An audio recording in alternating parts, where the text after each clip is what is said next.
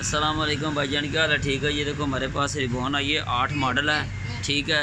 इसका सस्पेंशन का ये इंजन ट्यूनिंग वगैरह काम कर रहे हैं फ्रॉडर वगैरह मैंने अब फिट कर दिया है प्लग वगैरह करके कर दिया है, ठीक है? इसकी ये ऑयल की लीकेज थी, जिसकी वजह से ये गाड़ी आई है मेन इसकी ऑयल की लीकी लीकेज है।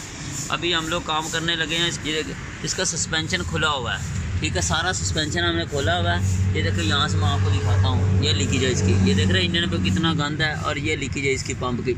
ये पंप की लीकेज है। ये ऑयल की सारी ड्रॉप हो रहा है ऑयल टंकी डालने लगे हम। नहीं डालने लगे हैं। और इसका ये कहते सस्पेंशन खुला हुआ है। अभी सर्विस वगैरह ओके कर दी है, साफ़ कर दिया इसको।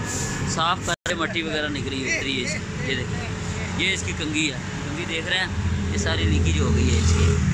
अभी इसके अगर किसी भाई ने हमसे काम शाम करवाना हो तो हमसे ये व्हील बैलसी और अलाइनमेंट वगैरह भी काम करते सारा काम या मकैनिक का, जितना भी आल टू आल, ये हमारा नंबर है कॉन्टैक्ट नंबर है। या न्यू इतफाकट और हमारी वर्कशॉप का नाम है।